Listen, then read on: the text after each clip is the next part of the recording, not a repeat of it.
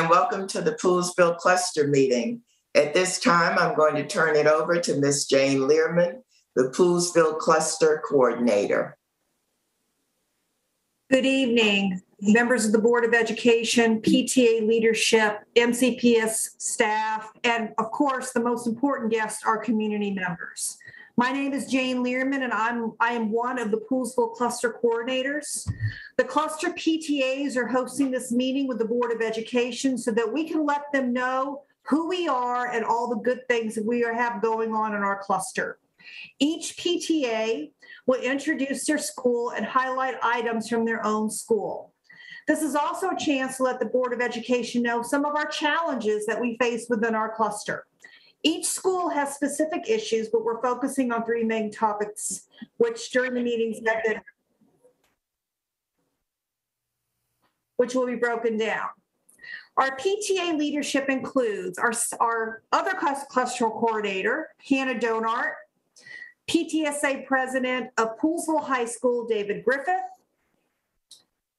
JPMS uh, PTSA president, Heather Witt, uh, PES, Poolesville Elementary, uh, Maria Bardos McGuire, and the co-presidents at Monocacy Elementary, um, Anne Marie Hickey, and, oh, I'm sorry, Julie Brower. Julie, Julie Brower, thank you. And of course, I'm sorry, there are too many people on the screen. Um, and of course, our wonderful principals, uh, Mark Carruthers of, uh, Poolesville High School, John Green of JPMS, Doug Robbins of Poolesville Elementary School, and Kristen Albin of Monocacy Elementary School. So now what I'd like to do is I'd like to turn this over to the real leaders in this community our PTA and PTSA leadership who are going to give a an overview of their schools. And I'd like to start with Anne Marie and Julie from, from Monocacy Elementary School. Thank you. So I'm going to try and share my screen because we have a little PowerPoint that we've put together. Uh, let me see if I can do it. This always makes me nervous. Okay. Hopefully you can see that. Um, so first, we want to thank uh, um, members of the Board of Education and community members for being here today and to hear about the schools in the Poolesville cluster. Julie and I represent Monocacy Elementary School PTA, the smallest school in the county with 158 students in grades kindergarten through fifth. Being small allows Monocacy students to do many special things. We have all school field trips. All of our fifth graders have an opportunity to experience being members of the safety patrol and the leadership and confidence that instills. And though we are small, we have an active drama club that puts on a production every spring. As a certified green school in the Ag Reserve, Monocacy has an active land club, recycling club, and engaged Earth Day activities. We have the best space, if I can make this screen move. Hold on. There we go. We have the best space. Whoops, now it's moving too fast um, for, for our field day. Mhm. Um, our PTA has taken advantage of the green spaces around us with s'mores campfires and meetup hikes at the aqueduct. And we are doing outdoor lunch and uh, since last spring and have continued to expand outdoor lunch along with classrooms outside. While school was virtual, our students and families had amazing support from our teachers and staff. They spent countless hours helping families get resources from Chromebooks to how to get online to how to get MIFIs and how to get food. Our resilience teachers handle large classes and have managed this situation with grace. Our school counselors set up Zoom meetings in the evenings to bake with our students, and our PTA um, managed to have a virtual costume parade and delivered boo bags and Valentine treats and more. And the PTA organized lots and lots of Zoom town hall meetings with our principal, who made herself available to answer all of our questions so many times. And now we are back, and we have an active and engaged community. We had a back to school picnic with record attendance. We are gearing up for some of our traditional activities and introducing new ones like our upcoming walkathon. But we are the smallest school in the county, and that also brings some challenges that we would like to share with you. We are, by MCPS standards, underutilized. In the upcoming boundary analysis, we would ask that you consider expanding the boundaries of Monocacy Elementary School to capture the students on Barnesville Road down to Little Seneca Lake at Black Hills Regional Park and on Comus Road up to Route 109, which would take some of the pressure off the Clarksburg schools and increase our student population. We think this would be a win-win. Currently, we have one class per grade, and when our classes grow, since there is only one, it is hard to address the large size. For example, our third grade class has 34 students. That is eight over the MCPS guidelines of 26 for a third grade class and should not be acceptable to any of us. Increasing our boundaries would support additional classes within the guideline sizes. And as a smaller school, we need some flexibility when asking for more teachers or staff. We are small, but we should also be afforded the same equities that other school, small schools are afforded. Our core team should be no different than the core teams of other small schools with at least two full-time or and two part-time positions. Currently, we have only one full-time and three part-time positions in our core team, making staffing even more challenging. And like all the other schools countywide, capital projects at Monocacy were delayed due to COVID such as the HVAC replacement and the refrigeration refrigerator replacement in our cafeteria.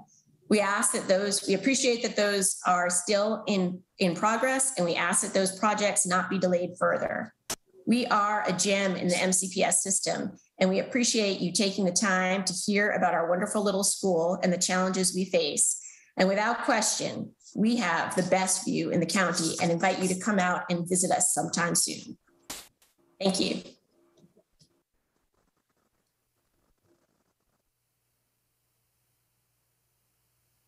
All right, thank you. Good evening. Thank you to the Board of Education for meeting with our cluster PTAs. My name is Maria Bardos McGuire, and I currently serve as the president of Poolesville Elementary School Parent Teachers Association. Over the last five years, Poolesville Elementary School has evolved into a central gathering location for our growing community. The student population has increased by 27% since 2016 and exceeded projections by 6%, which correlates to the increasing residential construction and resale of homes. The spotlight is on Poolesville as a result of our amazing cluster of award winning schools. More young families are moving to our zip code to be part of a charming town within Montgomery County. As our community is growing, so is the diversity of our population. And over the last five years, our minority student count has doubled. Our African American and Hispanic students now make up 22% of our total PES population. The increase in total elementary students will impact the middle school count as the classes transition as expected, and Heather with JPMS will address this later. In most recent years, our testing, our state testing scores have placed us in the top 15 to 20 ranking for elementary schools within the county. According to the last reported Maryland Department of Education scorecard, we are not only hitting our annual target, we improved and exceeded our year over year scores in academic achievement and academic progress. Our dedicated teachers and administration and support team at Poolesville Elementary have worked tirelessly to ensure that our students have the resources to learn and succeed. Fast forward to today's unique and new normal lifestyle due to the COVID pandemic, our educators have been spread thin, stressed, wearing multiple hats, and just riding this bull hanging on at the same time, teaching our children and continuing to be positive role models during this mentally and psychologically challenging time for all. The experiences of young children can carry through adulthood. It is important that the county provides sufficient and accessible mental and physical health resources for smaller and up-county communities such as ours. We thank the Board of Education for approving and providing Poolesville Elementary School with new student desks and chairs just this past year. This new equipment only enhances our children's learning experience. Our next improvement project request is the replacement of our intercom PA system in the restroom at the front of the school to ensure that all announcements can be heard clearly throughout the entire building. Currently, the system is older than our principal. I have to give a huge shout out to all of the wonderful parents who dedicate their time, energy, and resources to our cause.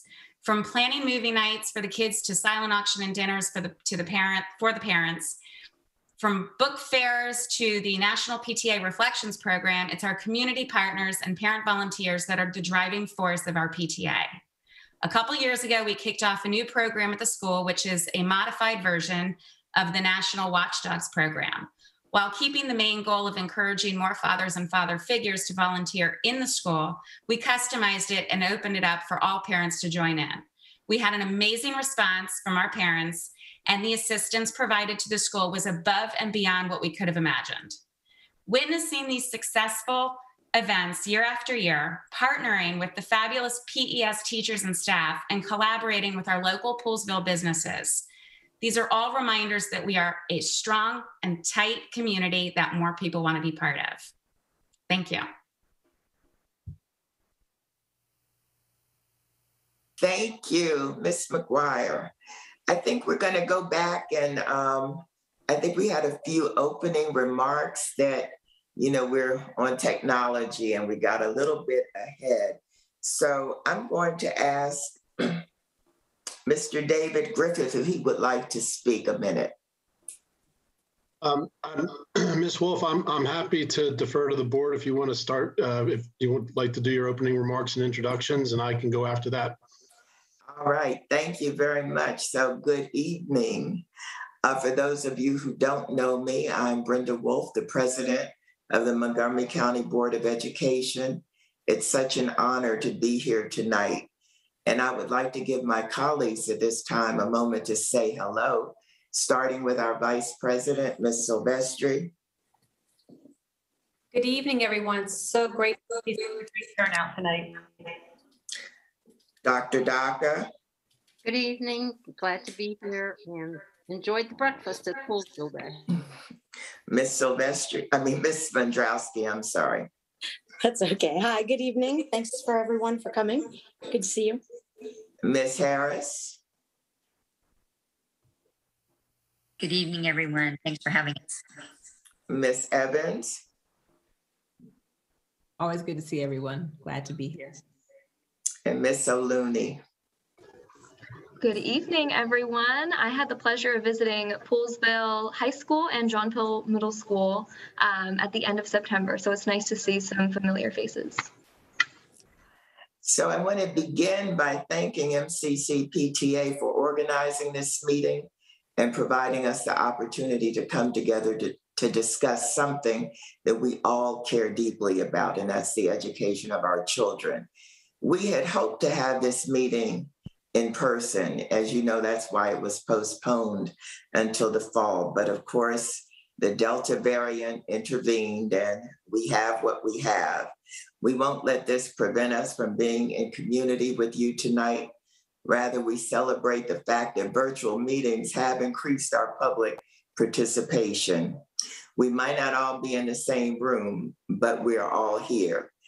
As you know, the impact of this worldwide pandemic has been felt by many professions and in many public services, including public education. And so we begin. I want to take a moment of privilege and thank all of the teachers, staff, administrators, students that are here tonight. The last 18 months have been a challenge for all of us. I don't say this lightly. As you know, I am the grandparent of a second grader, so I understand exactly what the parents have been going through. I also want to take um, a moment to to to say that you know, like um, I think it was Dr. Docca said, I'm sorry that I missed the Poolesville breakfast and parade this year, but as you know, we were away. Anyway, getting back to this, our educators have developed new ways to teach and engage our students. Our staff have worked tirelessly to prepare our buildings. Our common areas, our buses, and to make them as safe as possible each day. I also want to recognize the heroic role that each of you has pay, played during this time. We look forward to listening and dialoguing respectfully and thoughtfully. We won't always agree on everything, but we do have a deep belief in our shared mission, and that is to prepare our students to thrive in the careers and community. Thank you again for being here tonight and for listening to one another and for sharing. We appreciate you spending the evening with us. So should I turn this back over to you, David? I don't see you. No, where'd I go? Um, actually, I, I think we're going to turn it over to um, Heather Witt of uh, John Poole Middle School first. All right, thank you. Thank you.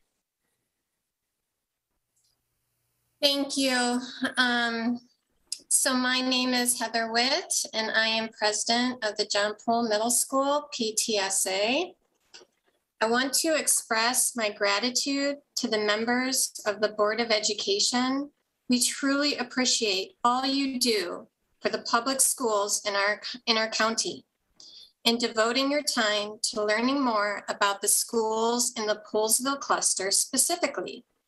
I am very excited to speak with you tonight on behalf of the John Poole Middle School community. We may be the smallest middle school in Montgomery County, but what we lack in enrollment numbers, we make up for in passion and engagement from our administration, teachers, staff, students, parents, and community. I was honored to serve as the parent representative on the JPMS instructional leadership team for two years and was extremely impressed with the team's positivity, dedication, and creative problem solving skills.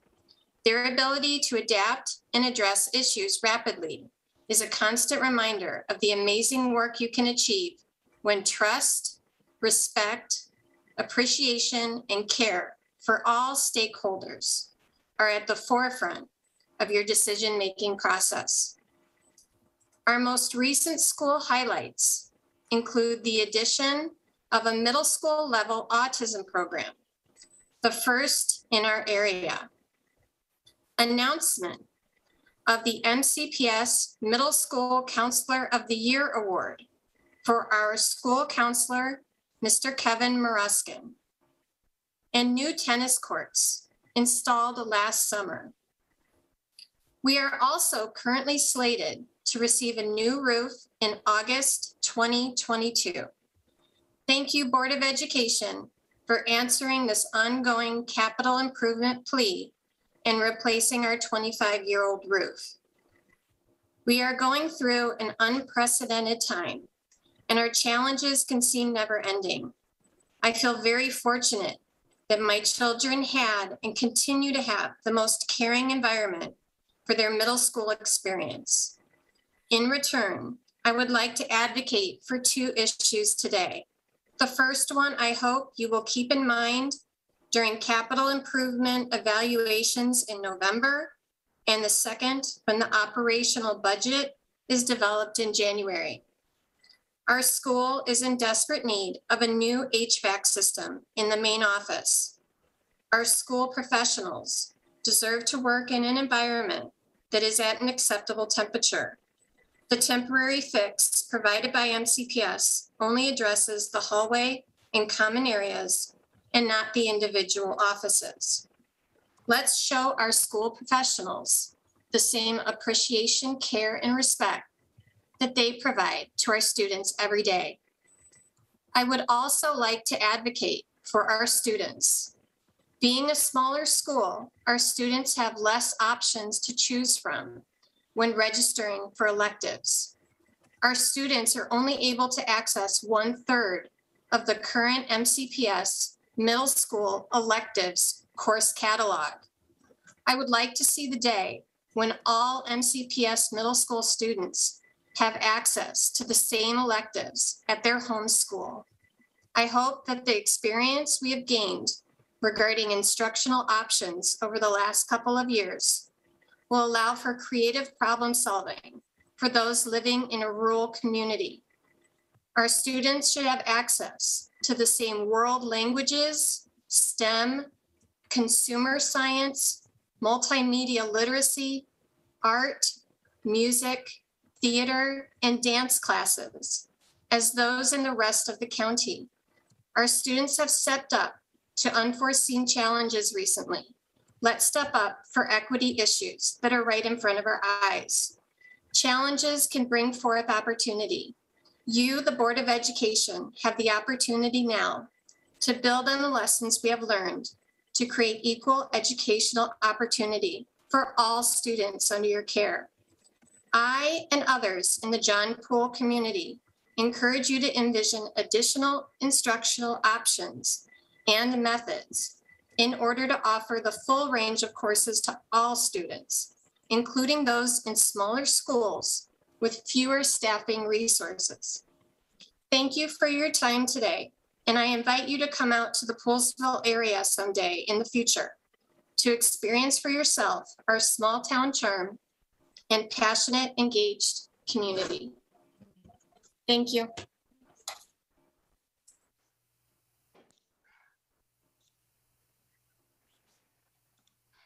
Thank you.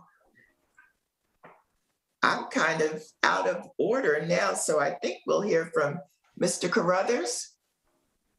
No, we'll be hearing from David now. All right, that works. Thank you. Thank you, Chairman, Chairwoman. Um, and uh, thank you, board and all of the MCPS staff here. Uh, you might as well be hearing from Mr. Carruthers. It's uh, uh, talking about Poolesville High School. He's certainly more in the know about everything that's going on. Um, but I want to give you a little bit of the parents' perspective um, uh, about the school, and I, I, try to be um, brief about this.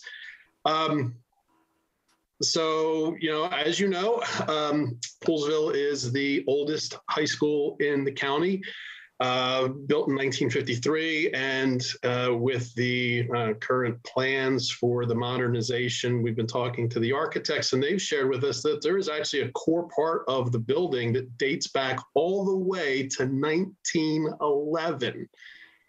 So more than 100 years old. Um, and actually, that reminds me, one of the things, uh, our, our, cluster meeting actually was one of the last uh, events of the 2019-2020 school year that was uh, fell victim to the sudden shutdown in March of 2020. So actually, this this cluster meeting is actually you know, two or three years delayed. Um, and I understand we're blazing a new trail here by doing it uh, virtually. I know you've been doing everything virtually, but uh, a, a cluster meeting virtually, I, I think, is a is a new development. Um, and you know, I think like like Poolesville High School and like the cluster itself, we're we're just making do with what we've got.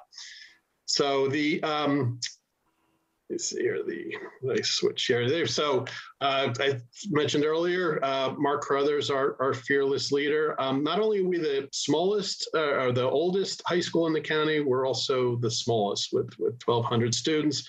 But you know, actually out here in the agricultural reserve, we are actually very diverse, as you can see by the student population, with more than uh, half of our student body of um, uh, minority or racial or ethnic minority.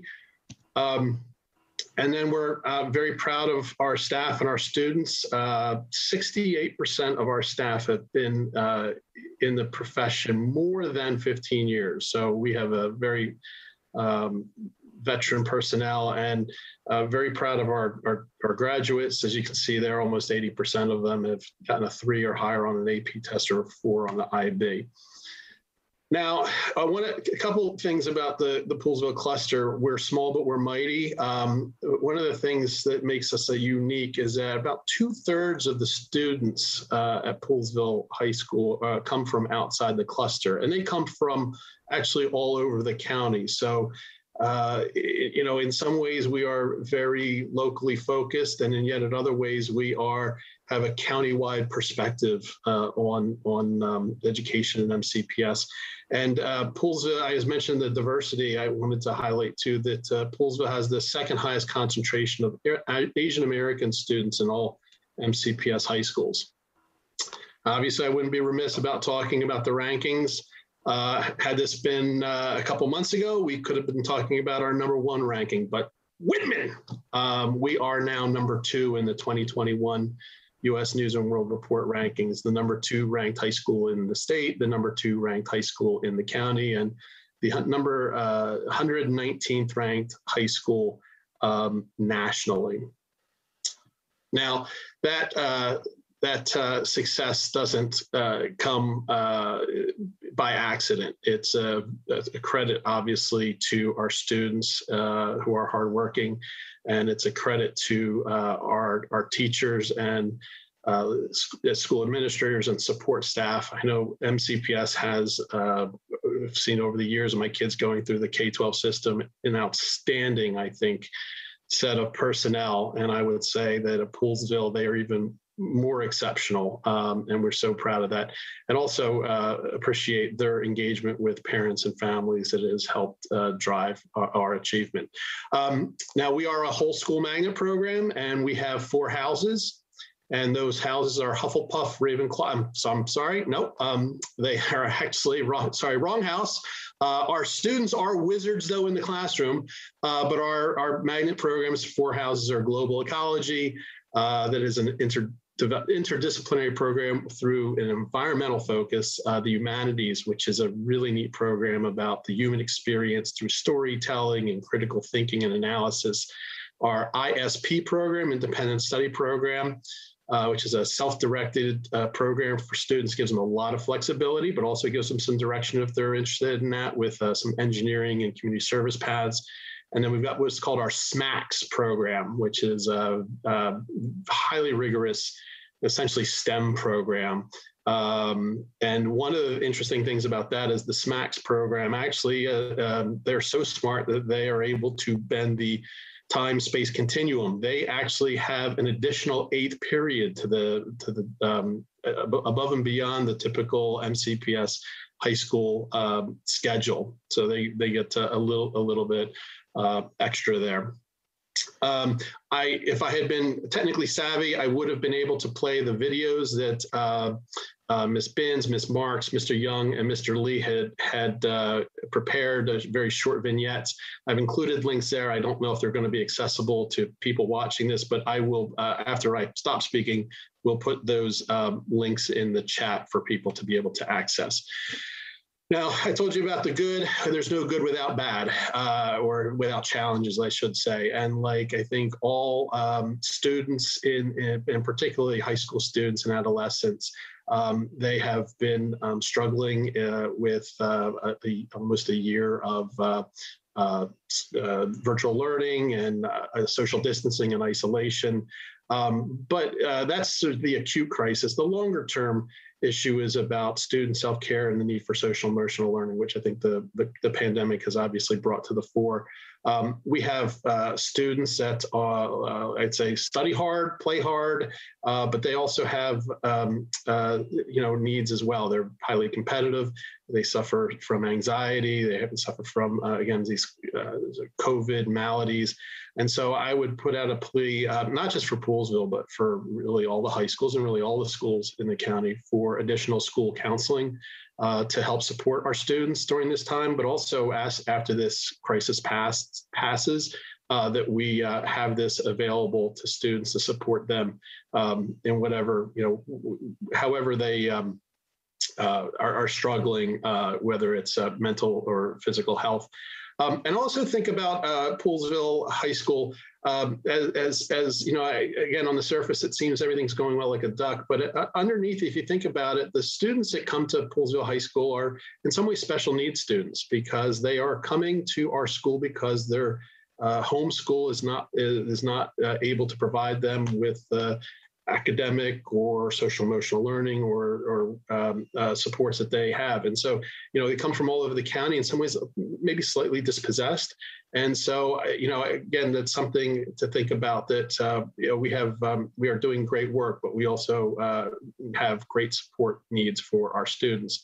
And then lastly, I, I, would have to put out a plug. I know we're going to talk about the school construction later, but that doesn't mean in the interim, while the construction is happening, that uh, uh, we don't need a fully staffed building services team, which we currently don't have. And in fact, I think, you know, with the dust of construction, I think that might be uh, needed even more. So uh, I am contractually obligated to talk about the new school and the need for a bigger gym and updated athletic fields, but we will talk about that during, I think, the uh, general community conversation. So again, uh, I want to give a shout out to Mr. Carruthers, our wonderful staff uh, the families uh, of Poolesville High School, the Poolesville community, and uh, our learning community at large. Thank you.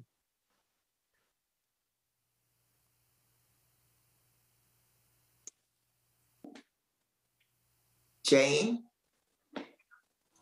I'd like to introduce um, Mark Carruthers. Um, he's very unique um, as a high school principal because he was hired in 2019. And then in March of 2020, the school shut down.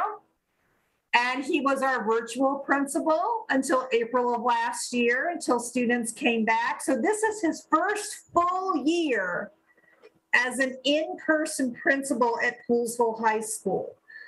Uh, he literally was just kind of thrown into the fiery pit and he arose as a phoenix. Um, I'm honored to introduce him and um, would love to um, to hear a few comments from you.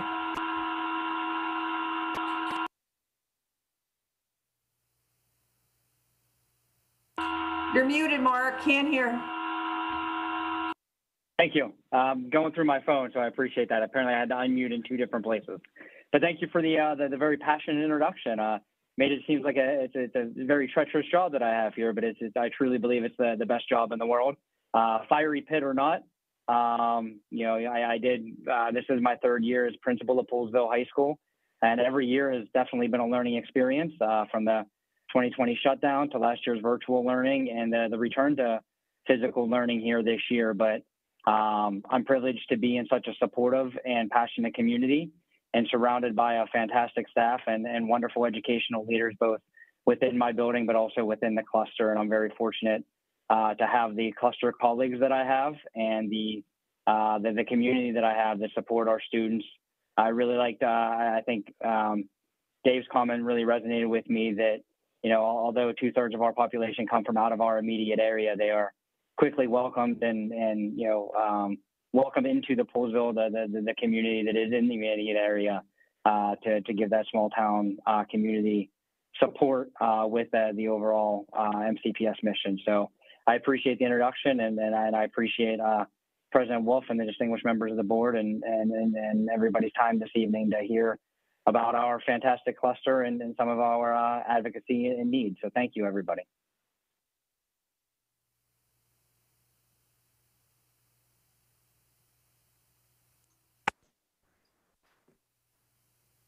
So there are other members of MCPS staff that I'd like to introduce, that are the, the members of the Board of Education. Uh, we also have uh, Dr. Mary Jane Ennis, who's the Chief of Learning Achievement and Administration. Uh, we have um, Lori Christina Webb, who's the Chief of Staff of the Board of Education, Darlene Harris, who's Executive Director, um, we have Michelle Palmer, who's the who's the psychological service coordinator of, of Montgomery County Public Schools. Uh, we have Seth Adams and um, Adrian Karamias, who are in, involved in the building and construction side of the house, and um, I and Diane Morris, who is um, I don't remember your title, but I know you're with OSSI, right? Hi there. I tried to write the titles down very quickly. Um, so we thank everybody who is here. Um, we had we were asked to uh, submit our agenda so that we could have the right um, staff members here to answer our questions. And I think that maybe this is the time to just launch into the agenda. Uh, we, uh, on the advice of the Board of Education, MCPS, we narrowed it down to three topics. Uh, construction at the high school, uh, health and safety issues, and equity issues. Um, and we're going to take, uh, we're going to divide the agenda up approximately into thirds. David is going to start talking about the uh, construction issues at uh, Poolesville High School, specifically issues. Um, we, we, as you know, we are reconstructing the high school. We're very excited about that. Uh, but there are some concerns we have about the size of the gym and our athletic facilities. So, David, I'm going to turn it over to you.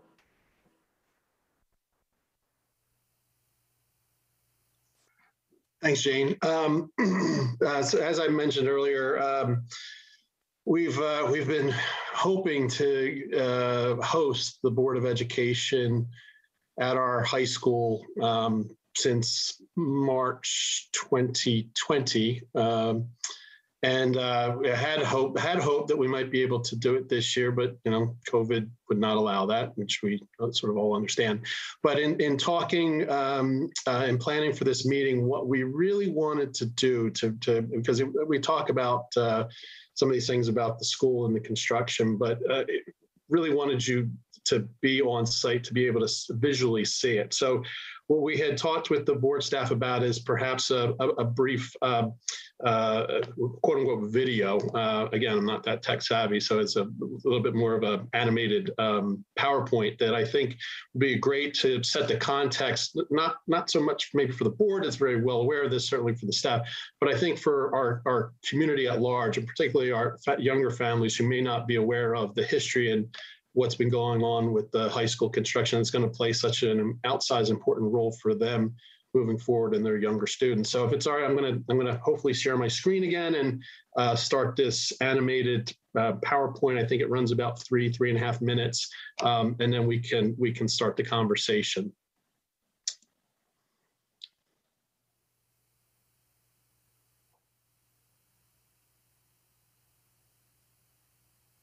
Okay, whoops, let me do this.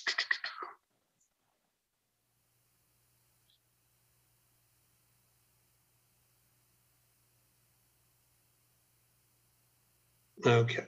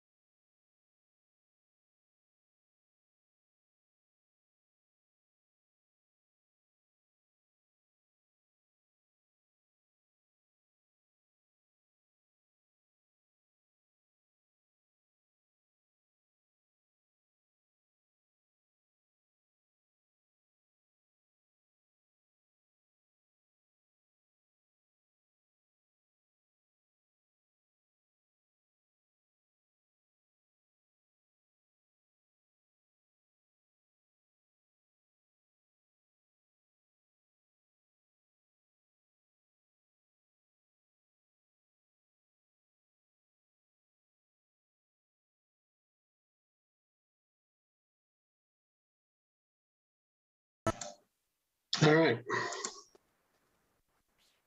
David, I'd just like to add something. Um, I wanted to thank you for the presentation comparing the different schools. I want to turn people's attention to Damascus High School, which was not included in your presentation. Their enrollment is about 150 students more than Poolesville High Schools. And yet their gym, their indoor and outdoor facilities are far more robust than Poolesville High School. And they probably have about the same percentage of students participating in athletics. Our Lady of Good Counsel, which I totally get it, totally different funding. Uh, they also have extremely robust athletic facilities and their enrollment is 1200.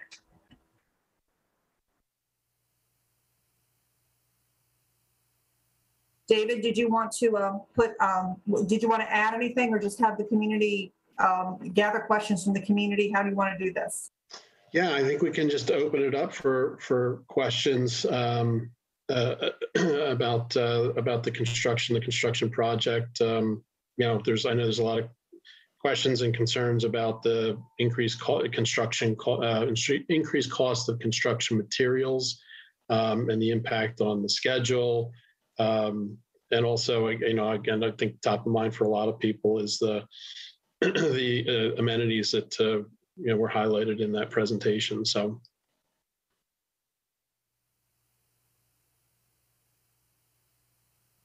Um, okay, so I, I, I'm sort of, I'm moderating here. I, I guess there's a Q and A uh, feature. There's also a chat feature. I don't know where that came. I think that came through the chat. So um, the question did come in about the, the, um, the budget costs. And I know the, the, the uh, board did approve uh, some shifting of funds. I think it was last month to, um, from the DuFief, DuFief project um, to account for those increased instru- construction costs.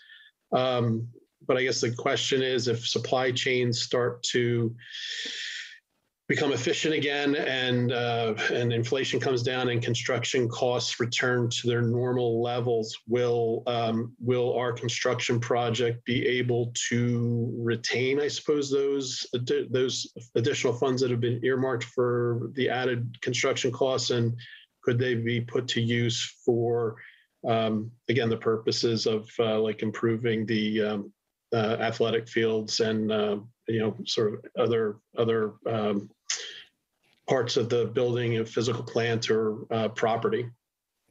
Hey, hey, David, this is Seth Adams. Maybe it would be a good, uh, good time for me just to provide a, a little update in terms of, of where we are in the project. Um, obviously, where, where we've been in, in terms of design and, and some of the bid opportunities that, uh, you know, we'll, we will be exploring in the future. Um, you know, but one thing I would say is, is start out by saying, um, absolutely, we, we acknowledge the, the concerns. Um, you know, one thing I would point out is, is our, our Board of Education is, is not a funding body. So all funding, additional funds certainly has to, to go through the county council, which I know is certainly engaged in this. So, you know, as we, as we work through our CIP, um, as we work through some of the, the cost challenges, you know, we, we will certainly uh, keep uh, Mr. Brothers as well as all in, involved, all stakeholders involved and, and apprised of what the next steps are. You know, you, you are correct. One of the, uh, one of the actions the Board of Ed just recently took um, was to remove funds from one project in order to uh, transfer them into uh, our major capital projects, which include Poolesville High School. Um, certainly, this is uh, again not being a funding body. That request is going to the county council, and I believe will be introduced uh, next week uh, to start, you know, those those conversations. But that is an additional uh, $12.8 million that the Board of Education um, is is asking to transfer into this particular project. Um, you know, it is also important to acknowledge the fact that that sort of post COVID, we are experiencing um, not just we, but you know, industry as a whole are experiencing quite a few uh, supply chain delays, cost increases, labor shortages.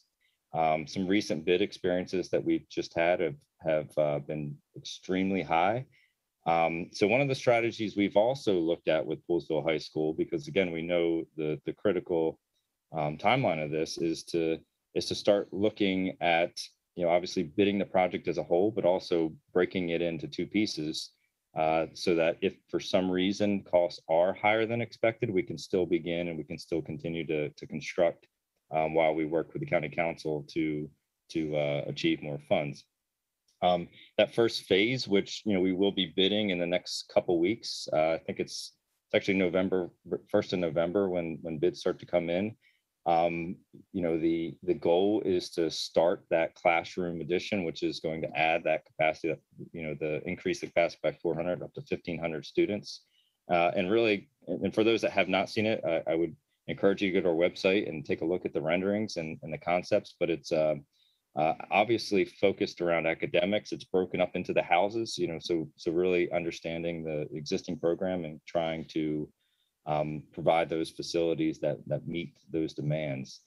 Um, you know, also wrapping um, the arts around, you know, some some of the existing auditorium, refacing the entire front space um, is all part of that phase one uh, should for some reason the entire project not be able to be funded due to the high construction costs. So, so I would say we've we've been very um, we've been trying to be very flexible with this project again because we know how critical the timeline is. Um, and you know, I feel very optimistic that in the next couple weeks we'll we'll have our bid results and we'll be able to take um, the bid information to the board for uh, for approval and, and groundbreaking in January of 2022 in terms of the gym, again, I would I would say one of the things that we are looking at in the gym, and I also say the gym, if again for some reason um, we we face some funding challenges, the gym is this this sort of the tail end of the project, so it is one of the last things we will do um, as we're going through this build. So um, we are going to go through some pricing exercises for the expanded gym that would that would obviously increase the the seating capacity and, and the size of the space.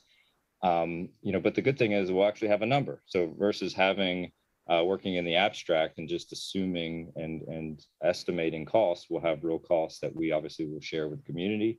Um, and if those costs are greater than our budgets, certainly start to work with um, you know our county council uh, partners to see if there are funds that we can apply and and obviously uh, try to create that space that that everyone um, in the Poolesville community is, is seeking. So uh, I do think, you know, again, we, we are in very troubling times in terms of the, just the overall construction industry, but I think we've, uh, definitely positioned this project well so that we can keep it on track and to keep uh, keep momentum moving forward. Uh, so hopefully that's a good snapshot. But um, for those that have not seen the project, certainly uh, our website has plans, and and we'd be happy to uh, to speak more to any of the details that, that, that folks may have, questions they may have. We have a couple of construction specific questions. Uh, one is a really good one about when the HVAC is replaced at the high school. Will it be a, shall we say, pandemic proof HVAC? And how are you approaching HVAC systems writ large? Oh, that's, that's a great question. So, um, you know, HVAC systems certainly have, have, have seen a little bit of a transition in, in post pandemic use. Obviously, uh, there was always a heightened uh, focus on indoor air quality in schools, uh, but certainly making sure we were balancing energy along the way. Uh, Post pandemic, obviously the focus is hands down indoor air quality. Um, you know, we're, we're not abandoning our, our sustainability efforts, but, you know, IAQ is the number one approach.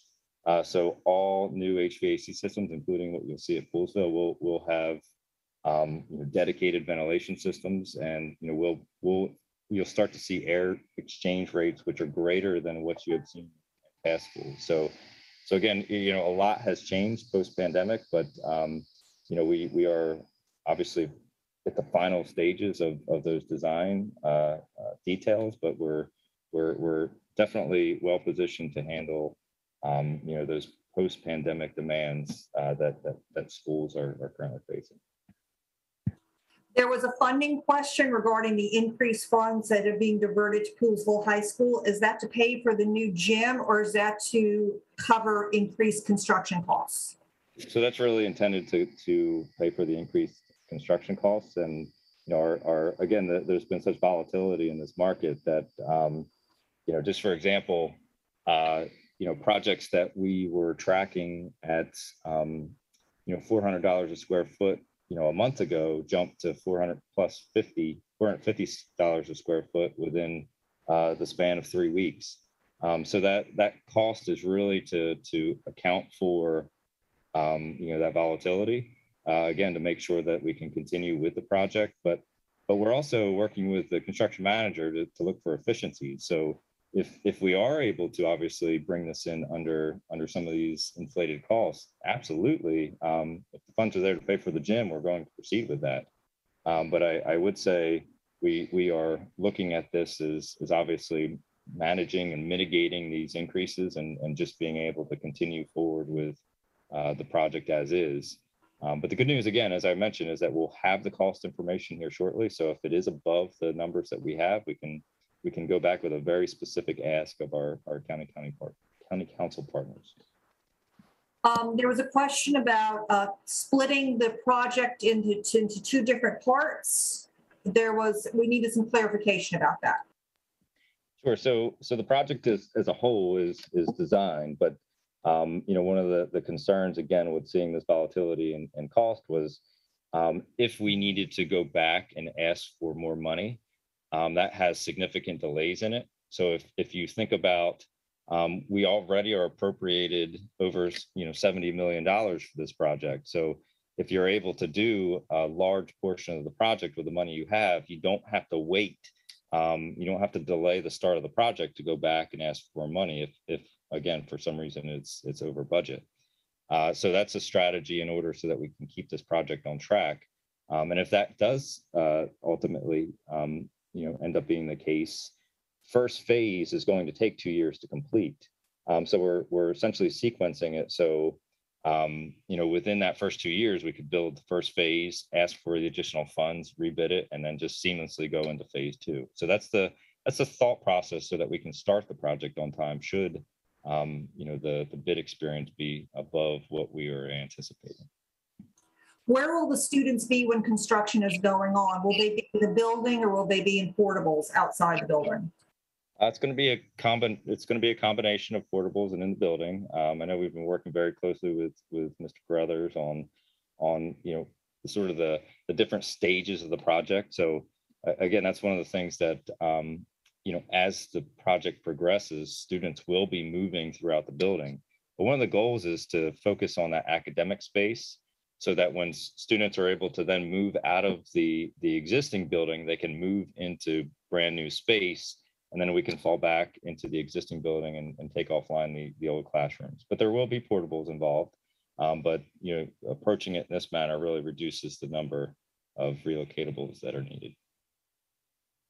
Will the arts uh, part of the building be brought on par? Will it be on par with the, with other schools? Yes. Yes. So so obviously there is a, a an arts component that you're you're missing from uh, you know, from our educational specifications. That will be part of the, the project. And, and the arts piece is in the first phase. So that is not, uh, that's not the second phase work. That is the first phase work when we're thinking about just from a cost standpoint.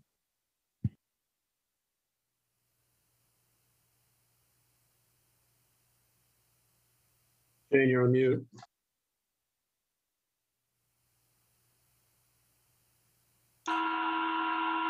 Uh, there's a question, uh, another financing question. Um, and this is also a question that I've had for the past few years. Why was the initial budget request so much lower than other high school construction renovation projects in the county? And why is it still, and why is this still in the bidding process? So, so the first question in terms of, of the, the dollar value, I, I would say we have to have a very clear distinction between the revitalization expansion uh, program versus the major capital project program. Um, one of the, the goals of the major capital project program is to uh, try to, to really focus on spaces that we can reuse um, so that we can spread the, the dollar much further. Um, one, one benefit to transitioning to this is that the Poolesville High School project leapfrogged other schools that were ahead of Poolesville High School in the, in the RevX program. Um, so so I, I when, uh, and this is one of the things that we've, we've talked about at the board table many times. Unfortunately, there is a, always a first when it comes to a new program and Poolesville High School is the first high school in this program. Um, but if you look at the budgets that we have set for uh, the other schools, um, you know, Damascus, uh, Wootton, and Magruder, uh, Wootton and, and Magruder are are much lower than Poolesville. Um, Damascus is is slightly higher only from the fact that we were looking to increase capacity to handle uh, the Clarksburg uh, cluster as well. So so when you when you start to look at the budget set for major capital projects in the high school level, Poolesville actually is one of the highest budgets um, that we have set within that that particular program. In terms of of, of the bidding date, um, you know the, the bidding date is is a is a function of of obviously working from our our completion date backwards. We we did have some work that we were planning to do this summer, uh, but again, that some of that work really came in at four times the cost. Uh, and that's when we took a step back and started to resequence the project just to make sure that uh, we didn't make any missteps along the way. Um, and, and, what I mean by that is, you know, we didn't want to move students out into portables. We didn't want to move the office out into a portable and then not ultimately be able to, to do the work in those spaces. So we took that step back, that brief step back, re, re, uh, re analyzed the project and came up with this approach that uh, will ensure the completion date. Is the completion date still 2026? And I want to confirm that you said the construction would start in 2022. Correct. That's the intent is is to start obviously pending the the, the bid information and and board approval, but it would start uh, this January of 2022. Um, the bulk of the work will be completed by January actually, I think we're trending for, yeah, January 2024. Uh, so that is the goal is to have the academic space and phase, sort of when you think about it, that first phase, phase one work completed. Um, and then the second phase, we're obviously still looking at that, but that may be, um, you know, anywhere from a year to 18 months to complete, depending on, you know, how far we go. So uh, we, we are trending for the bulk of the project to be completed by 2024 at this moment. We understand that the gym will be at the tail end of the project. When will the final bidding be done regarding financing the reconstruction of the gym? So so again, we're we're going to bid the project as a whole, but also have it broken into two pieces uh, at the beginning of November. Um, so if the project as a whole is affordable um, within our budget at that November date, then we move forward with it as a whole. Um, if for some reason the you know the the entire project is beyond our budget, we will pursue phase one, um, and then obviously you know work with the county council and and others. I, I would say that one of the, the things that we would most likely do is to is to hopefully let the market calm down a bit, rebid in six months to a year, uh, we don't lose time at that point. It's just uh, sort of a re- looking at a reset of the market and and going back to bid with phase two, uh, if that ultimately ends up being the case. Um, so so I, I, again, it's it's it's tough to answer because we don't know what the bid results will be um, in the next couple of weeks. I'm I'm assuming based on our experiences that they're going to be high. Um, but if they are, you know, we we have obviously a plan to uh, to revisit with the county council and, and ask for those additional funds, which obviously can include at that time the expanded gym. And we'll have the, the, the actual numbers that we can talk with the county council members about. And, and I think uh, we'll be well positioned at that point to advocate for that space. This should be the last question in this block. Um, what's the LEED rating of the building? LEED? Rating? Oh, oh yeah. So, um, so, so LEED is is a, a measure of sustainability for for a building. Um, ultimately, you don't achieve your your LEED certification to the end of the project. So um, we go into all our projects pursuing LEED Gold. Um, you know, we, we also beyond uh, you know the LEED ratings, we're going to be exploring other sustainable opportunities here, everything from from from solar to um, you know other uh, you know sustainable type of program implementation measures. So so unfortunately, LEED is LEED certification doesn't happen until the end of the project, but you know we we are pursuing a very sustainable building at the moment, um, which you know there's there's no reason to believe that we will not achieve those goals as we work through the construction process. We're going to end this block and we're going to move on to, to uh, health and well-being. Um, And I'm delighted to introduce um, Hannah uh, Donard, who is our new cluster coordinator. And um, she will be fielding questions about um, people that have questions about health and well-being in the cluster. Great. I just wanted to say a quick hello um, and also introduce myself. Um, I know Seth well. Um, he and I meet on a monthly, almost monthly basis now um, to discuss uh, everything from indoor air quality, water quality, um, and safer cleaning and disinfecting. Um, I'm the chair of the Health and Wellness Committee for MCCPTA, as well as the chair of the Subcommittee for Environmental Health. Um, and uh, so I think this is a good segue in um, to these questions with the high school, um, talking about the physical health of our students while they're co-located on active demolition and construction site. Um, what kind of precautions, um, I just want to start off the questions with um, you, Seth. What kind of precautions are you taking to make sure that those students are safe and that the air quality, water quality, and their environment, physical environment is going to be ensure it's going to be safe for them while they're in school? Uh, great question. I, you know, obviously when you think about the building itself, um, you know, we'll, we'll, we'll be, you know, putting up protective measures between obviously construction spaces and, and, uh, you know, occupied school spaces. The one, the one actually really good benefit of, of taking a step back and pivoting here is that uh, essentially the, the, all this first phase new construction work will be completely isolated um, from existing building systems. So, so we'll have to pay close attention to, you know, rooftop units and filters. And, you know, we, we do look to our budgets to increase filter changes through that because we know there's, there's dust that's associated with construction and those things. But, um, you know, certainly we, uh, we have great experience with, with keeping the construction area very separated from, from the academic area. And, in, and obviously, you know, post COVID, it's, it's heightened. Um, so, uh, you know, really it's it's keeping our our our track record of where we're going, but uh, uh, increasing the, the level of attention to to maintenance and um, uh, some of our building service work. Great. Um, I guess one of the other questions with that, are you going to be monitoring air indoor and out um, during the construction phases? I know that OSHA has requirements for workers, but there's not really much for students. Um, so just wanting to know what kind of um, monitoring you're going to be doing in terms of air quality? That's a good, great question too. And, and we have routinely worked with our contractors to, to monitor um, existing spaces. It's actually, we monitor both indoor, you know, from an indoor air quality perspective.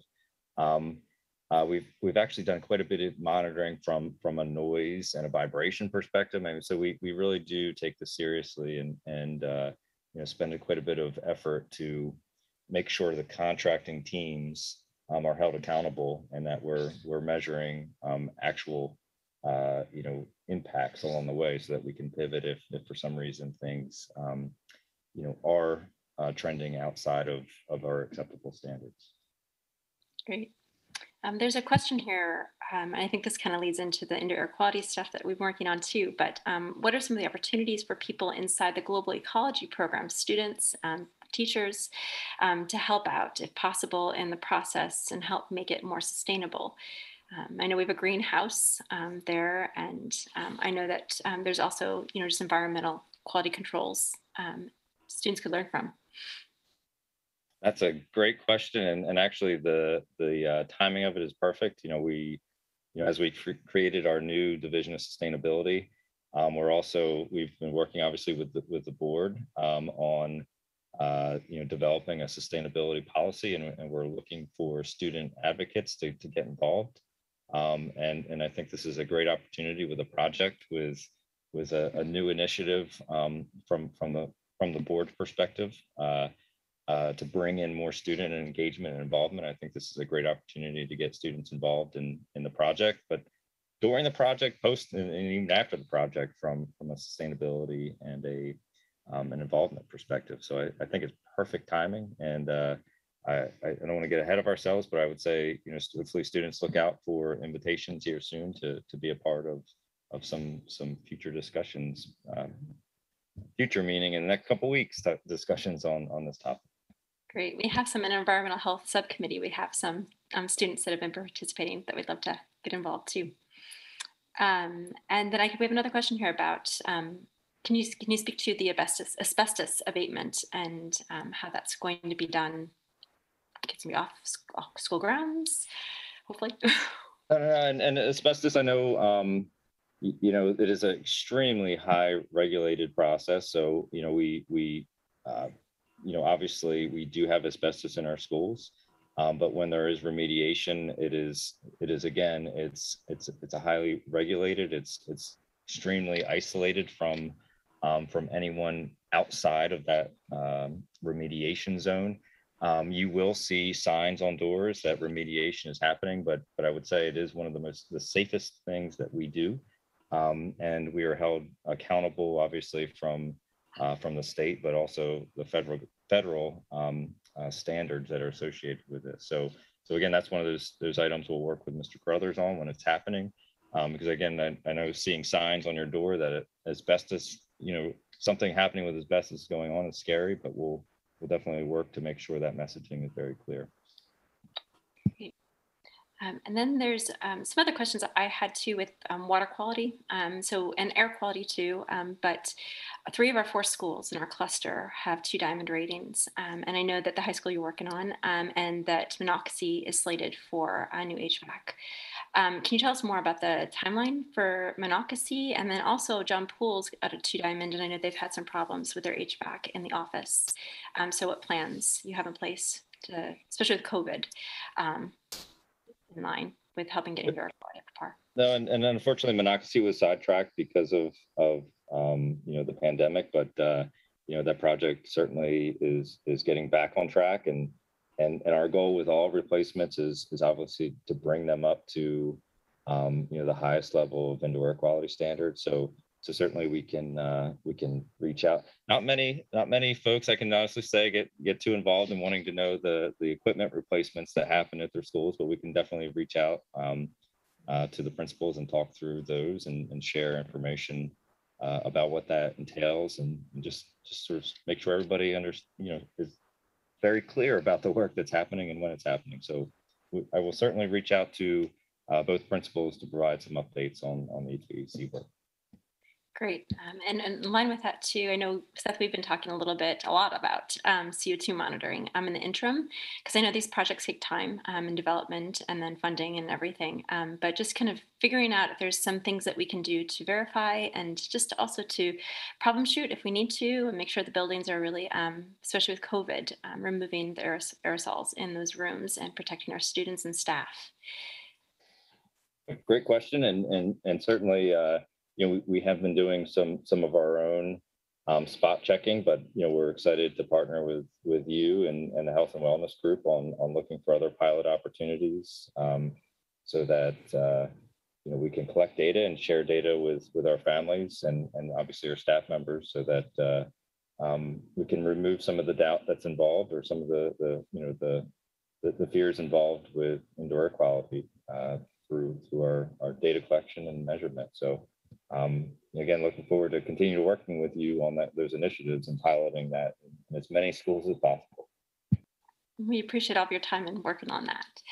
Um, kind of shifting gears here a little bit. Uh, we have a couple questions about mental health. Um, so we have how can we maintain the mental health of students during the construction, um, and also I think just during COVID times. Um, this may be sort of taking Seth off the hotspot, um, and just talking to the Board of Ed. Um, and I know in general this is a thing throughout the district, um, but with construction happening and a lot of the transitions on top of that with COVID, just ask I think the board members or ask, putting it out there for anybody who can answer that question in terms of mental health.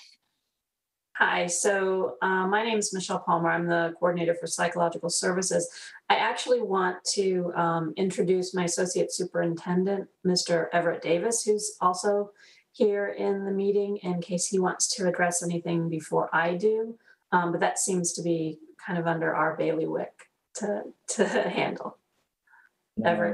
Good evening, and thank you for that, uh, Michelle. Good evening to the members of the board as well as to our parent leadership. Thank you for uh, having us here this evening, and I just appreciate the opportunity to be able to share uh, the supports that our shop provides, the student family support and engagement, uh, which does include, as Michelle said, our mental health supports, which are a part of our Be Well 365 uh, initiative, which hopefully you've heard about, but hopefully we can share a little bit more about that uh, this evening. And so I so appreciate the question around mental health, uh, as well as some of the resources that we can bring and that we do have in place, uh, as well as some some updates for you. I'll, I'll let Michelle share that uh, as our coordinator uh, for the Division of Psychological Services. So Michelle, please.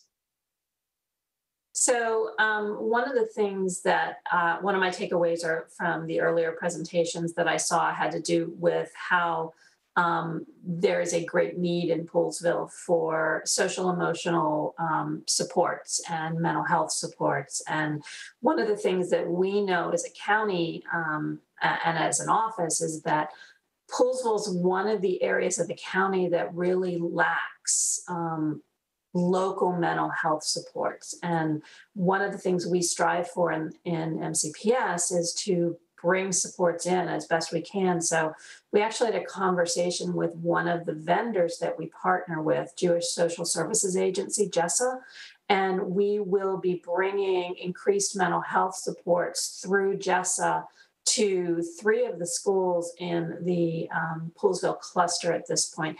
We're not, and these will be in person therapy uh, services for students and for families, um, should that, should families want to partake as well. But these are things that um, we've been thinking about as we try to expand this particular initiative. Poolesville was at the top of the list. And, and literally today we had the conversation that we're going to be able to add that. Um, we can't quite add um, in person to Monocacy yet, but we could work at telehealth for students with at Monocacy. So that would kind of encompass um, all of those needs, if you will. Um, we're, we're really very pleased um, with what we've been doing with JESSA this past year. It's a relatively new initiative. Would telehealth services be uh, included in the JESA services? Um, we we had a conversation today with Jessa about that um, for potentially for Monocacy. We're looking more at in-person services for the other three schools um, because that's essentially uh, though when we started and we were still um, virtual uh, with most things. We we um, uh, received funds to add Jessa to the cadre of mental health supports and agencies that we worked with um, middle of last school year. And um, at the time everything was virtual then but since the start of the school year everything has been in person. It's more that the three schools that we're talking about in Poolesville are in close proximity to one, one another. Poor monocacy is a, a bit further afield and it would be harder uh, at this juncture anyway to have an in-person person there you have a Did that answer your question? Uh, yeah, and how, and so the in-person services, how would they be delivered at the other three schools? That's really something that Jessa would talk um, with at the school level. The principals and the the um, folks at the building literally got emails today because this was a conversation we had today. Um, but they would work with the school to find a space for therapists to come into the building and um, and support students.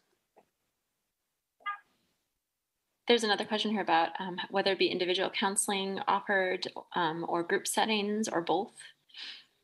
Um, I would have to defer to Jessa. I know it would be at, uh, oh, no, I'm sorry, I'm not, I'm, I'm not muted.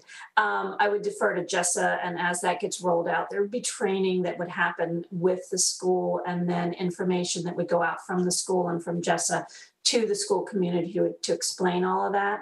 I definitely know that it's individual. There may be groups involved, but at the moment, um, I can't specifically answer that. Okay. Um, and then as a follow-up to that, how do students and families access um, support from the new JESA services? That's a great question. Typically, the referrals come through the educational management team. Um, so um, meetings being held at the school, uh, educational management team stands for EM is EMT, and um, that is one avenue. Student well-being teams can also make referrals. Uh, oftentimes, the referrals go through the school counselors from there, um, but that's the typical avenue. Great. And will the school be fully ADA compliant once the new, cons- uh, will, will Poolesville High School be fully ADA compliant once the new construction is done? So I think that's not a me question. Yeah.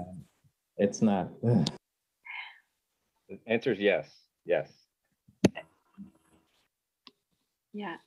Um, I actually did have another question for you, Seth, while we got you um, for the water quality. So we've had, um, Poolesville's had some bigger problems with lead and drinking water issues um, in the past. Um, and levels have been really high in the past um, concerning. Um, and so we just kind of wanted to know, I know you're putting in two hydration stations in every school that are filtered for lead. Um, and uh, so wondering um, how that's going with Poolesville Elementary School. I know Monocacy is just on bottled water, so that's a non-issue um, because we're in well. Um, and then the middle school and high schools too, because there's no safe level of lead even for those ages. Yeah, so, so the, the Board of Education did approve that contract, and unfortunately, the, uh, the units themselves uh, were on a 14, 15 week lead time, meaning um, they actually are just starting to, to schedule to come in either this week or next week, and we'll begin the, the rollout installation. So, so again, we'll follow up with the principals of, of each school and, and let them know the timeline. But, um, you know, we did have a material delay uh, getting those uh, um, uh, water bottle filling stations, but, you know, thankfully our board did approve that and, and expedited it. So hopefully soon they will be, begin installed with filters. Yeah. So, and right now there are some hydration stations I know from um, what I've talked to community members in Poolesville Elementary School. Um, are those filtered? Do you know? I have to go back and look, but a part of this program is also to retrofit um, units that were not filtered with filters. Okay. And in the meantime, in the interim, um, are we doing bottled water? Um, or is that something that principals can ask for if they feel like they need that, especially to protect the youngest, but any of the students?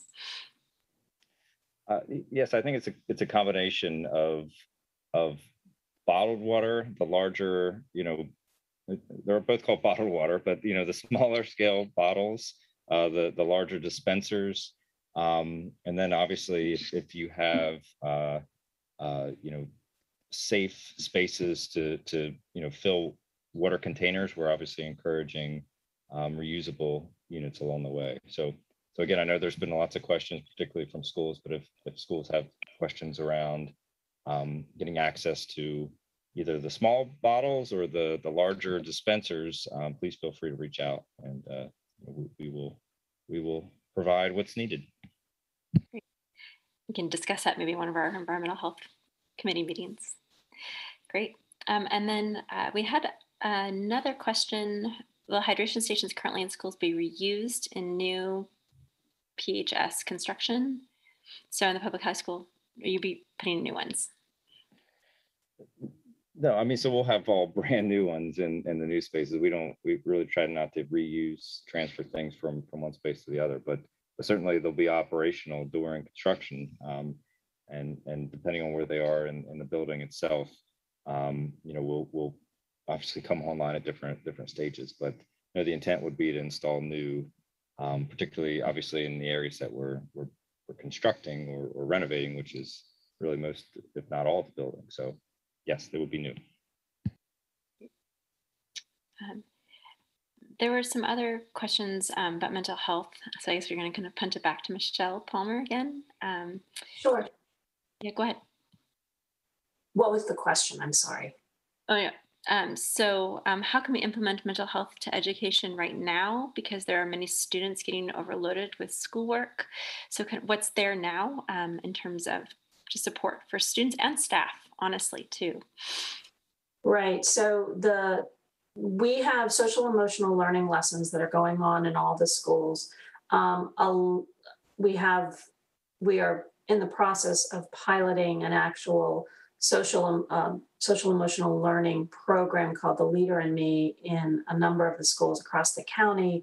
But within the next three years, we will be gradually adding more schools. So ultimately, the entire cluster, uh, Poolesville cluster, will be engaging in um, the leader in me as a social emotional learning curriculum in conjunction with all of the other um, academic curricula that they work on. Um, but the social emotional learning lessons that the school has going that we started last year while we were still virtual are things that are available to all students um, across the county, um, but definitely within Poolesville. We know that our students are stretched and stressed. We know that our staff are. Um, from a staff perspective, there's always the um, EAP, the Employee Assistance Program that's there.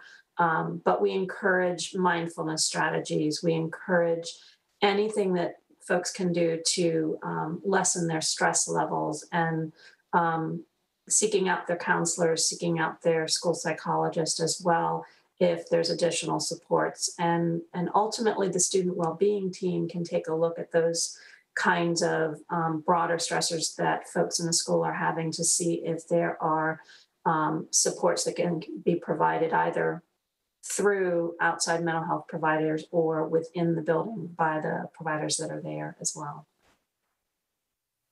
And I just wanted to add to what Michelle said. Um, in, addition to those resources, there are personal body safety lessons, which which go through our K to 12. Um, also, signs of suicide, which are for our secondary students, is 6 to 12. Uh, and also our, our, resources on our website. If you have not visited our, our student family support and engagement website, I know she mentioned one mindfulness. Uh, Mr. Jeff Donald, who was our mindfulness uh, instructional specialist, uh, there are videos there, resources for uh, for the staff and also for our parents as well. Want to make sure that that is elevated in addition to our Waymaking series, who Dr. Uh, Christina Conley, who is our director of school psychology, uh, she is the host of those Waymaking series, and that actually came out of the pandemic, uh, an opportunity that the pandemic provided for us. Um, so if you have not visited those, uh, please do so. There, I'll just make a little uh, promo for three upcoming episodes. One is around the leader in me that you just heard uh, Michelle mention, which is our social emotional learning curriculum. Uh, one is around restorative justice, and also be on the lookout for another one around the COVID, uh, the Delta variant, and how, how to support one another as we navigate that. So again, all that information is on our website. You can simply type in mindfulness uh, from the main uh, MCPS homepage uh, or Waymaking for additional information. And just to piggyback on that, um, we are uh, hosting a um, mental health awareness week in November from the 8th to the 13th of November. It's a, a joint venture between MCPS and Student Family Support and Engagement and uh, the Montgomery County School Psychologist Association. And there will be lots of information for students. We actually have three alive events this this year, um, one of which is specifically focusing on students and their needs. But we also have a number of um, video presentations to support families and how do families support their students, how do families support themselves. Um, and so I, I, encourage you to keep that in mind. There will be um, flyers and things come out sooner uh, than later on that. Uh, and that's another area that you can um, look for supports as well. Great. And I, I, guess there was a really good question here um, about just have you engaged with students themselves to ask them um, what would be the most helpful in terms of supporting them in, in their mental health and social emotional well-being? Because um, asking them, there's a note here that says some some of these resources weren't that helpful. Um, so just reaching out to them and asking them um, what would be. So I'm sorry. I I yes sitting down and having a frank conversation with your your child um, hey things are kind of tough and weird right now and and we all have different feelings about what's going on and um, acknowledging some of your own feelings without you know doing something that's developmentally beyond you, the age of your your child but ask them what kinds of feelings they might be having discuss the kinds of feelings that different people have um, again, keeping it in a in a developmentally appropriate way. What you talk to an elementary student is going to be different than what you say to a middle or a high school student. Um, sometimes talking about these things go better when you're in the middle of doing something more mundane, like maybe you're both making dinner and saying, hey, you know, how are things going? Kids sometimes don't talk about things when you ask them directly, but if you ask them, you know, questions while you're in the middle of other things, they might come up with answers and you might be able to glean some information from them about what they're uh, what they're concerned about but you can also talk to them to say hey you know sometimes it's it's hard to talk to your parent about things but if you have a trusted adult in your school building whether it's a, a particular teacher or a coach or your counselor or a psychologist or a family friend that is a trusted adult um, making sure they know that there are people out there that if maybe they don't want to share with their parents um, though we all would prefer that they do um, that there's someone else out there that they can talk to. We talk about that a lot in the SOS Signs of Suicide program. The idea that it, for people, for kids, talking with someone that they trust um, is is what we want them to do. Yeah, I think that question. Thanks for answering that. But I think um, I think the question maybe more was what MCPS engaging with students to ask them what kind of resources they need. Um, and asking how you're engaging with them to just to hear from them. Hannah O'Looney, I saw her kind of shake her head, um, and they're under a lot of stress. And just talking to them about resources are helpful um, when you strategize on ways to reach out.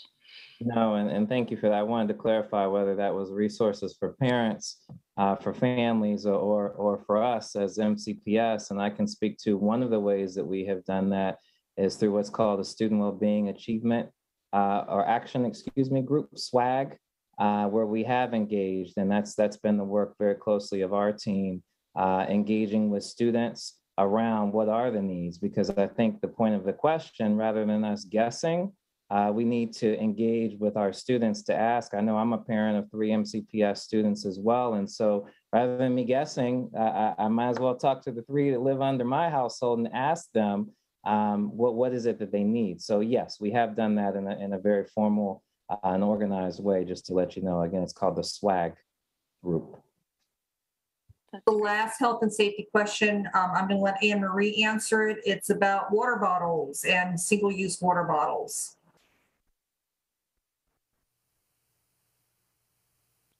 Did you want to answer that live about, um, You were going to have Anne Marie answer it, or did you- yeah, Anne Marie wouldn't know what to answer. I don't know. I don't know what Anne Marie you're talking about.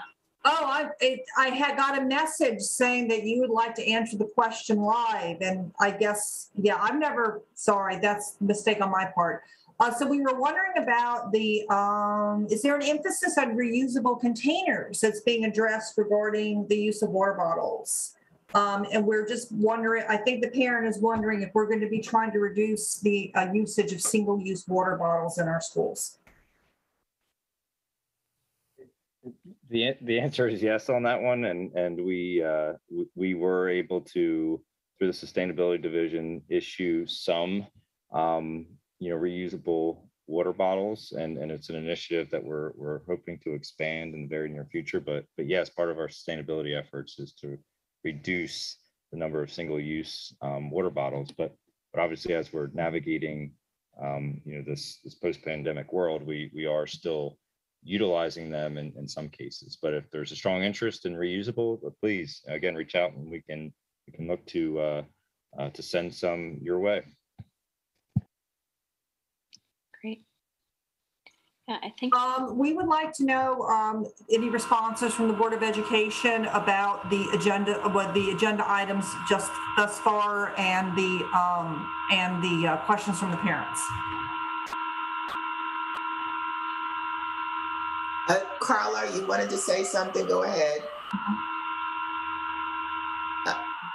Janie, if you could mute again, thank you. No, I, I was, um, you know, listening throughout the whole meeting as, ev- as everyone is, but, uh, one thing that I wanted to address and maybe bring it up to our, um, Ms. Morris and other folks is this issue of the middle school not having enough offerings. And I know that, um, that's a concern and it's an opportunity as you all have planted it uh, with virtual learning. I know that we are piloting some countywide programs this year, French and I forget what other uh, course. But uh, we will only learn from this experience, and hopefully, we'll be able to do a lot more offerings um, in the coming years. So um, that really resonated with me. And I just wanted to share that we are piloting some courses this year. And uh, so keep uh, sending us information about what is needed at the middle school level. So hopefully, we can put something in place soon. Thank you. Thank you. Does anybody else want to speak at this time?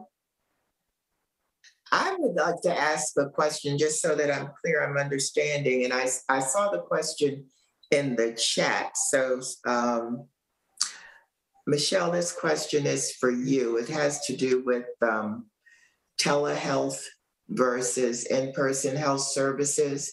Is there a reason why we are doing, we're not doing in-person services for, I believe it's the elementary school?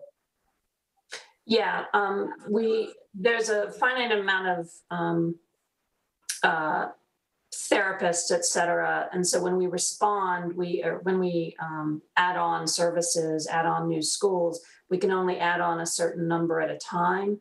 And when we talk with Jessa, they don't have the capacity to do, um, an in-person beyond the three schools at Monocacy or excuse me, the three schools um, that are close to one another in Poolesville, they don't have the ability to go to four.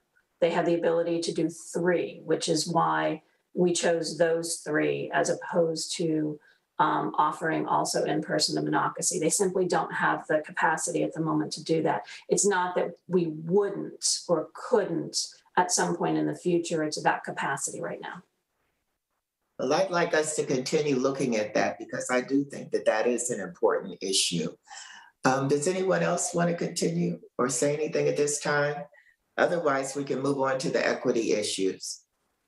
I just wanted to say one, sorry, one more thing. Um, we're in this pandemic, and I think this is something just speaking to the board um, and also to our community about um, issues around having data um, and a dashboard up. I know this is something that MCPS is working on, um, but students feeling safe, um, teachers feeling safe, safe in their schools, in their classrooms, and communicating when, if there's a positive case to the classroom, especially at the elementary level where they're unvaccinated um, and where they're cohorted more often, um, at the classroom level, just letting them know that there's a positive case, keeping privacy keeping things private, but um, communicating with parents so they can make a choice, especially with vulnerable students that have asthma or other underlying conditions. Like parents can choose to protect their children by bringing by keeping them out for 10 days um, if they need to be protected. Um, it's, it's an equity issue too, um, because those that are most vulnerable need to be protected the most. Um, and then the dashboard, getting that up. Um, we have some of our subject matter experts helping um, from our committee, the Health and Wellness Committee, um, and would really encourage the board um, and the advisory board now that's been established to listen to them. They're wonderful people and they've got a lot of expertise. Um, and so I just wanted to put that out there. Um, they have a mock-up of a dashboard that is fantastic. and so just working with MCPS to help develop that. we need denominators. We need no percentages, not just how many are quarantined. We need to know know how many per school in percentages. Um, that's a big thing. So. So we're going to move on to equity issues. I wanted to thank um, uh, Ms. Silvestre for bringing up the um, the issue of programming at JPMS because the issue of uh, programming dovetails into the issue of staffing. And because of the small size of the Poolesville cluster schools, um, there's always been a sense that um, the, this, the, the equity issue has to do with small staffing anomalies can have a big ripple effect on an entire school. Uh, we've got done, gotten a lot of messages and um, feedback from parents specifically about the situation at Monocacy Elementary in their third grade classroom where they have 34 students. Um, and um, because I work for MCPS, I'm aware of um, the rather severe staffing issues that we're having in the system. And so I don't know if one of the principals, if uh, Ms. Alban would like to respond to that or possibly um, um, Dr. Ennis, but um, just to, to talk about what is happening writ large with staffing. It is impact, impacting our, our schools more, but I think the parents need to hear about what is actually happening with staffing throughout MCPS. Thank you, Jen. Uh, Jane. Um, good evening. I'm Jane Ennis. I'm uh, the director uh, supporting Poolesville Cluster, and I'd like to introduce my supervisor, our Area 3 Associate Superintendent, Diane Morris. And um, perhaps we can tag team and uh, as well as Miss Alban. Um, do you want to start with that, Diane? Just wanted to say thank you for this opportunity to spend the night with you and to hear about all the great things. Um, I often get a chance to drive up there to visit our schools. I was just there last week. It's one of my favorite places. I love the drive up. Um, so yes, there are challenges due to the size of the school when we talk about staffing. Particularly, that's one that we've been um, trying to address at the middle school because they have only a few sections of each course. And so the more staff you have, the more sections that you can offer or a greater variety of classes that you can offer. So I appreciate Ms. Silvestre bringing up the option, and I wrote it down of exploring now that we're in a virtual space, how can we bring that in and open up opportunity and access when we talk about equity for the students in Poolesville to be able to access other courses in other schools. So that's definitely something that we will look in. We appreciate your patience with this. I was a director for middle schools. Um, and so I had Poolesville cluster that was in 2014 um, and I've been the associate. So I've been in the in the Poolesville cluster now for eight years. So um, I've really had an opportunity to work closely, and I'm aware of the challenges. Monocacy, um, yes, our our smallest school, but mighty for sure, and under great leadership. And so we know that the challenges exist there. We've been working with Kristen around that third grade staffing, fifth grade st- staffing, how we can think um, more creatively around that. Um, so these are all things that your principals had been advocating for, and um, I think that we can put our heads together, like like like Karla said, in this era now that we're exploring. There's so many other options that we certainly um, can sit down and do some planning and get back to you on that. Thank you. But um, in terms of Monocacy Elementary School, my understanding is that the, the issue with the third grade is not because of lack of trying. It's it, it's a lack of of people applying for the for um, for teaching jobs. And if somebody in leadership could uh, address that either specifically with Monocacy or writ large, um, how many staffing positions are there in Montgomery County Public Schools for teachers? Are you having hard, a harder time finding teachers at this point? So the answer is yes, and it, it's beyond just teachers, it's paraeducators, it's classroom monitors. So even what we're finding is even when we give the school the allocation, we say you have this position, go out and hire.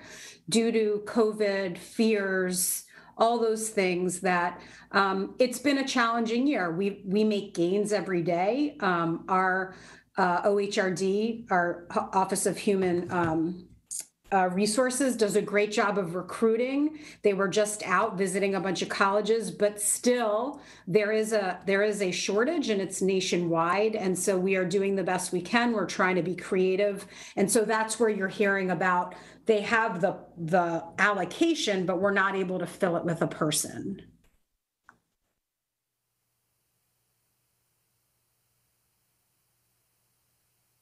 So the position for the Monocacy third grade teacher was posted, it just wasn't picked up. Is that a correct statement? I see That is Dr. Ennis. correct. Yes. That is correct. The position was posted, but uh, we, we don't have any, at this time, we don't have any valuable candidates. And, um, you know, Ms. Alban can add to that if, if you have any updates to that. I, I, just full disclosure, I'm a long-term sub in a middle school. Um, I was a long-term sub for a full year last year, and um, I know that staff, staff, sadly, staffing is an issue everywhere. But again, the problem about our schools is because the schools are so small, even being short one staffing position can be extremely impactful. Uh, Would it be okay to ask, um, with so many elementary positions available, uh, would it be possible to prioritize Monocacy Elementary just because of the percentage of staff that they're missing as we go forward? I think that it's in addition to the school being small, the location of the school attracts a smaller group of individuals. So that becomes part of the challenge. I joke with Kristen and I say, I'm coming out, I'm going to pack a lunch for my, you know, ride out there. We joke about it, but for some, if you live in the eastern part of the, the county, um, you know, it's, it's quite a trek. And so I think that creates a problem, just the, the location. So we can't hire and, and say, this is where you're being placed. But certainly, um, we try to keep it open. And as OHRD hires people, they certainly push them through to certain schools to make sure that they're seeing those candidates. And that's happening. But I think it's, it's a, it's, it's kind of an intersection of a few variables there that are, have created those uh, positions to stay vacant.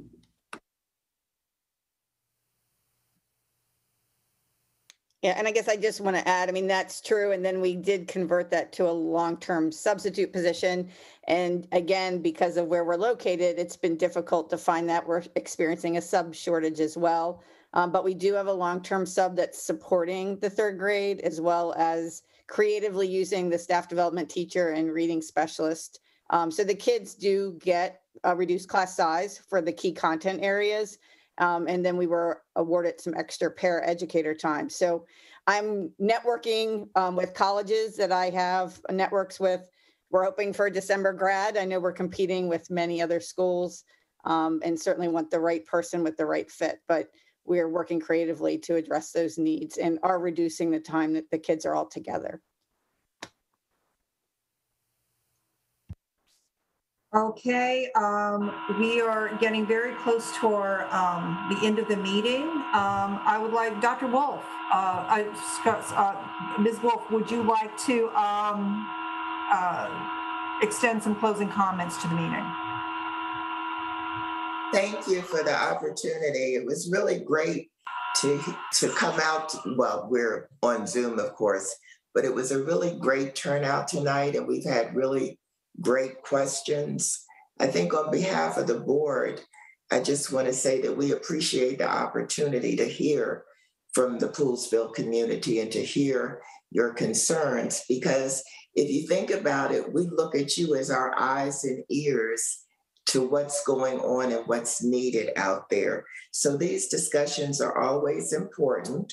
I know that we didn't get to many of the questions that were pending because we still have some, I'm sure, equity uh, issues to address. I would like to have you send in the questions and we will be sure to provide answers because I do think that these are some important issues that still need to be addressed. And I look forward to coming out and visiting with you when we can actually see each other in person. Does anybody else on the board want to say anything before we go? I'm not seeing any hands, so, oh, hold on, Miss Evans and Miss O'Looney. Go ahead. Yes, um, so just wanted to say, um, great seeing everyone virtually. Um, and then I did hear it, it being mentioned that, um, we were supposed to come out, oh, that's my dog, please forgive me. We were supposed to come out prior to the pandemic, but don't think that that um, de- the delay means that we care less. So you have great advocates in Poolesville. I will be out there tomorrow for a volleyball game, so I'll make sure I get out there early enough to take a look around. But please um, in, invite us. And you know everything that we heard today are not things that we haven't heard before. But um, definitely, we're always trying to make sure that we can make improvements. So just thank you for coming out today and bearing with me for my puppy in the background. So good seeing you all and have a good rest of the week. Hannah, you're up. Yes, just two things I wanted to follow up on. First, uh, Ms. Donert's comment about the COVID 19 dashboard. Um, I know that that will be up later this week. I think we're aiming for Thursday, so that's something to look forward to. Um, the other thing, um, one thing I've always admired about the Poolesville community the middle school and the high school is um, the real sense of environmental stewardship that you all have up in Poolesville, um, not just in the global ecology program at the high school, but also when I went to visit John Poole um, just a couple weeks ago. I was talking to students. Sometimes they'll share, you know, random tidbits of their day with me. And I kept hearing about an environmental science elective from almost every student that I spoke to. And that is not an elective that is available at very many of our middle schools, if any at all. So yes, I am very sympathetic to bringing you all more electives through the endless possibilities of Zoom and this new virtual world we're living in. But I'd also love to see um, the opportunities that you all have cultivated here in Poolesville expanded to the rest of the county. So um, a lot of very exciting work that you all are doing. Thank you. And I think that that concludes our meeting for tonight. It was great talking to you, and I look forward to getting out there soon. Thank you very much for, uh, for everybody to, for attending tonight. Stay tuned for November 8th and our CIP meeting. I'll see you at Carver on November the 8th. I'll be there. Thank you.